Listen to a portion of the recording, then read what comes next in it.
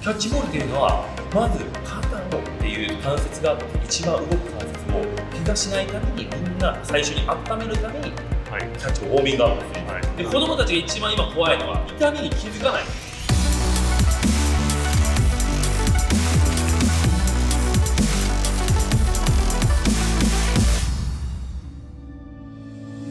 ちは。フリーストロンガーアスリートナビゲーター田中大輝です。この動画ではトップアスリートのジュニア時代についてインタビューを行ってまいります。早速今回お話をしていただくトップアスリートをご紹介しましょう。こちらの方です。こんにちは。川崎宗則です。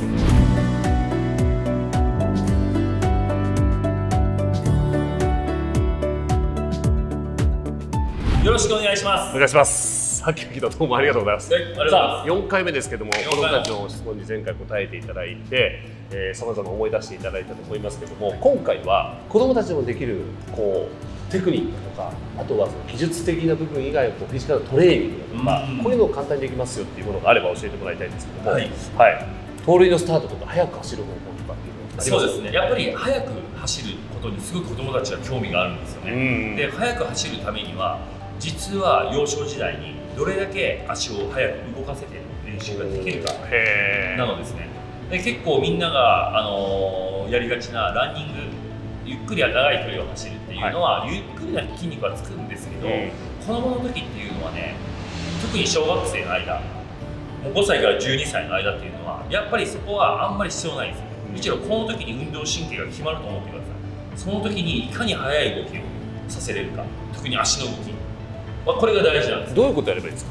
やっぱり短い距離を走ることなんですけど、はい。あと走る時のバランスというか僕が今ずっとやってて昔もやっぱりやってることっていうのは、基本的に足をなるべく長くつかない。足を短めにつく練習をあ地面にですか？地面につく時間を短くするっていう練習をするへこと。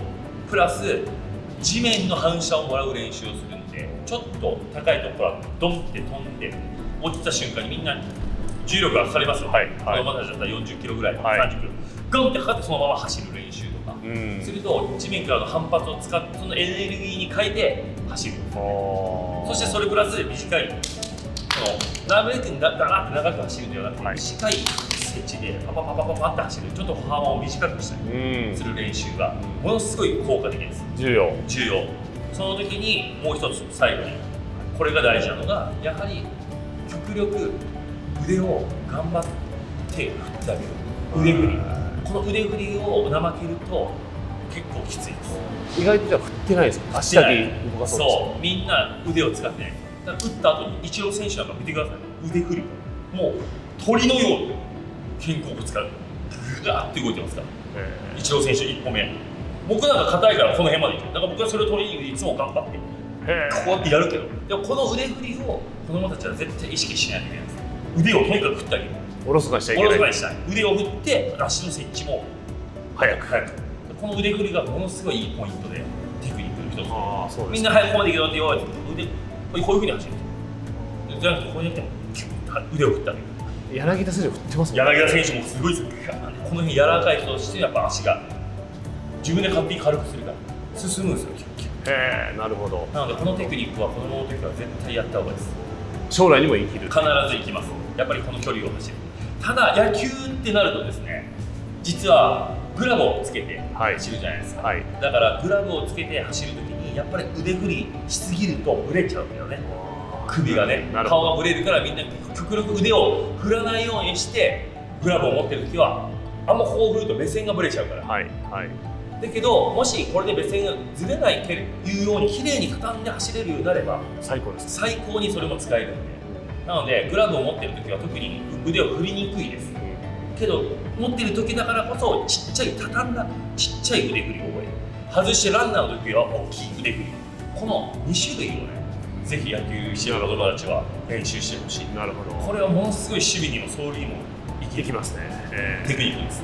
ーあとスローイングでこういう練習いいよっていうのありますかスローイングはやっぱりそれもねみんなやっぱ速く投げたい強く投げたいコントロールよくなりたいと思ってるじゃないですか？極極力キャッチボールがすごく大事なんだけどキャッチボールをするときにみんなの目的として最初に胸に投げなさいっていうここに投げなさいここに投げなさい。っていうね本当のキャッチボールの意味がみんな分かってないわけですキャッチボールは胸に投げるためにやってないんですよ。キャッチボールっていうのは何のためにやるかというウォーミングアップなんですよ。肩を怪我しないためにキャッチボールする。なるほど。温めるために。あそう温めるためにキャッチみんなキャッチボールの意味が分かってんなんでキャッチボールするんですかっていうと分かりません、っていうのみんなその通りよね。はい。キャッチボールっていうのはまず肩をっていう関節があって一番動く関節を怪我しないためにみんな最初に温めるためにはい。キャッチボールウォーミングアップするはい。そのためにキャッチボールする。試合になったらアウトにするために投げる投げる。これしかないんです。なのにキャッチボール大会しちゃうんですよ。胸に投げないとあそれだあーって言ったら監督が「あーお前胸に投げろ。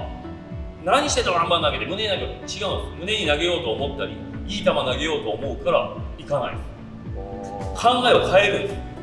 肩を温めるために怪我しないためにキャッチボールはするんだっていう認識に変えてあげる。するとはい。向くから自分の肩にああ肩痛いなとちょっとした敏感な肩の張りを気づくわけ。で子供たちが一番今怖いのはキャッチボール大会するからみんなでお願いしますってキャッチボール大会するから痛みに気づかないんですよ。一旦投げた方向にばっかり優今日今日。で痛いの気づかず気づかず痛いの我慢してはいいざ試合投げた。痛えもう遅い。でこっちに意識を持たせるためのキャッチボールだそういうことです。キャッチボールの意味を履きが履き違え履き違えたからね。自分の意識今日の肩うん張ってるな今日は後ろかな前かなああし張ってるなよしよし。あーこうやって体をほぐすうんちょっと痛いな。つって時は痛い時に自分が痛いって分かれば親とかお父さんが時にちょっと痛いですってことを言える。キャッチボール大会をしちゃダメなのまずそこじゃからあいいキャッチボールは自分の肩の状態を知るためだ。そう。だってキャッチボールでどどうしますか？キャッチボールのためにまずどこを使うかボールを蹴る。蹴らないねどこを使うって言ったら肩肘手首特に一番大きい筋肉は肩。はい。ここの筋肉をまず今日の朝俺の川崎宗則今日8月何日かの今日の俺の肩はどうなんだろう、皆さんそれぞれの今日の肩は昨日とどうなんだろうっていうことを確かめるためにキャッチボールする。あそうですそれをなんかあそこに投げたいあそこに投げたいあそこに投げないとっていうキャッチボールだったらやる必要が全くない。キャッチボール大会になっちゃうから。はいはい。だから意識をそっちに変えるだけで自然とあと勝手に行くようになるんですよそうなんですか自分に向くから自分のことピッて投げるから。へすると胸に投げなさいってみんな言うじゃないですか。実はキャッチボールしてる相手ってみんな身長一緒なの一緒ぐらい。まあ時には190センチとはい。子供がやるときは一緒ではないけど、でも大概大人がやるときは身長一緒なのってことはねってことは自分が気持ちいいところで離っちゃう。大概この辺に行くようになってる。んですよこの辺でいいんだ。そう、この辺に行くようになってる胸とこの辺に。それを大人同士でキャッチボールしたら自分がこっち投げてこんな投げとった。ら大体この辺に行くようになってる。それをわざわざ見てあそこに行けない行けないってやると全然自分が気持ちよくないところだからボールがバレる。なるだからまず自分の体にあの自分の肩関節はい。から体に意識を変えるとすごいものすごい。気持ちいいとこ探しなさいと。気持ちいいところを探すとしてああこの辺かなっつって、へー。うんこの辺かなって言って探すと勝手にあれ？あれ？なんかこの辺全部来てるよ。ね結果的に。あ何はも考えてないの？にそれを10球10球あそこに投げないといけないって思うともう意識的にもう自分がそっちに意識いってるから、はい。体が全く違うことするんですよ。で意識をちょっと変えてあげる。認識を変えるだけで結果はいい、なるほど。最後に、はい。いまあ、いろんな語学言葉に触れてきたと思いますけど、はい。コミュニケーションを取るためにで、まあ、語学ノートを持ってます。どういうふうなところが大事ですか？海外挑戦しますとかやっぱ海外の人とコミュニケーション取りますよく使う言葉を分かることだよね。例えば学校で勉強してることって案外英会話に入った時にあ使うことないことがある。実際に今何が必要なの？か俺には。うんなった時の言葉っていうのを早く見つけた方がいいです。よく使う言葉は何だ？ろうはい。 atta baby、atta baby、atta baby だったら atta baby だし、はい。 let's go、let's go、let's go, kid とかって、キって何の意味やねんと思ってたけど、よく使うから、 let's go, kid とか言うわけ。よ。よく使う言葉をよく覚えることだよね、その時に使う。今使ってる言葉、英語。あじゃあ自分の環境の中で一番使う言葉の順に覚えてきなさいそうそう、それが自然と分かることなんで、えー。そこにやっぱいることが大事だし、うん。まあ、もちろん勉強していくことも大事よ。でも案外勉強していったとしても行ってしまえば使わないことがあるんですね。はいはい。実際。こういうこと使わないってことがあって、うん。だからまず行ったら、まあ、方言的な感じで「ねなんでやねん」とか言って毎回「なんでやねんなんでやねん」言っとったら関西もう俺も鹿児島行ったら「なんでやねん」俺こんな感じであかんねんとか言ったらあかんねんって言うじゃないですか、はい。そういう感じなんですよ。方言を覚えるような感じなんそれじゃあアメリカ英語でも一緒。英語でも一緒。スペイン語でもフランススペイン語語でもでもフランス語でも所詮は言葉なんだから。中国語も一緒中国語も一緒。所詮言葉で。所詮スパイ防止のあれなんだから。ねなんでその辺はもうえ方言を覚えるような気持ちでいけばいいです。英語を勉強しようじゃなくて方言を覚えるっていうのがあ僕の中の英英会話でも中国語でも一緒だ。でもやっぱり日本語以外でトップアスリートになろうと思ったら語学っていうのはこう持ってた方がいいですよね。ああ楽しいです。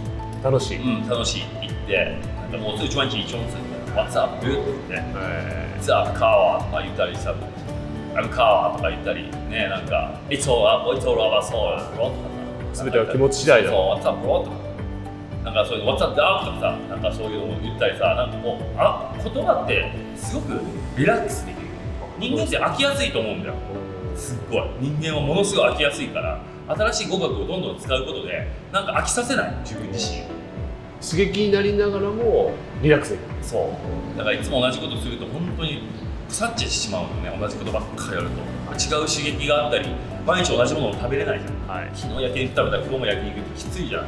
まあいけるけどいけるけど。いけるけどでもそういう感じでやっぱ飽きさせないようにするために語学ってすごくそういうのに使えると。思うじゃああとはもう川崎宗則はヨーロッパを制していただいて。そうあとヨーロッパちょっとドイツ。ドイツイタリア。でちょっとその辺の言葉を。オランダ、うん。オランダもいいね。野球ありますから。本当だね。野球する限りは世界各国回ってはい。行きたいですね、えー。でいろんな考え方はい。を学びたいですね、え日本の野球もそれは素晴らしい。はい。でもね世界いろんな国の考え方を知ればそれをまたミックスさせて新しいプレーが生まれるんちゃうかなと思ってるんですよ。だから今藤井さんなんか将棋の藤井さんなんか、はい。はい抜群に17歳で勝つわけでセオリーないことをするからでしょ。うん。だから僕らだったら野球でグラブ取ったらそのまま握り替えるじゃないですか多分藤井君だったら取ってそのまま投げる んですけどなるほど。このままバチンってきてえちょっと待って。そんなのダメだよって言えないよね。アウト一番早いからね。うん。取ったら取ってそのままはいっつってはい入っていく入っていくえでそういうことをしてるわけじゃない？でもあ野球もそうだけどセオリーに固まるとダメだよね。だからいつも思って。るセオリーは壊してこそセオリーだ。なるほど。崩れろと。セオリーがないこともセオリーだしそういうなんか新しいことを新しいプレーを見つけていかないといけないと僕は思います、そういう子たち出てくるといいですよね。そうそういう子たちをはい。子供たちを作っていければええ。また最高ですよね、ありがとうございました。今回4回にわたって子供時代のこともいろんなこと話してもらいました。どうでした？かなんかいた僕が。あ。来た。ちっちゃい時の子供の川崎宗則が宗君って言われたの、はい。宗君はいたこの辺に。思い出して思い出してここにいて座ってた。リトル宗則が。リトル胸が ああいたと思って帰ってきてなんかこういう企画本当にありがとうございました、ええ。いい番組で。ぜひあの川素晴らしい。崎選手みたいなアスリートになってくれる子をね、はい。生まれてくれればと思います。どうもありがとうございました。ありがとうございました。というわけで、えーこのチャンネルはジュニアアスリートの皆さんの力になるように川崎選手をはじめトップアスリートの皆さんにどんどんインタビューを行ってまいります、えーリクエストとか感想もぜひお願いいたします。川崎選手どうもありがとうございました。ありがとうございました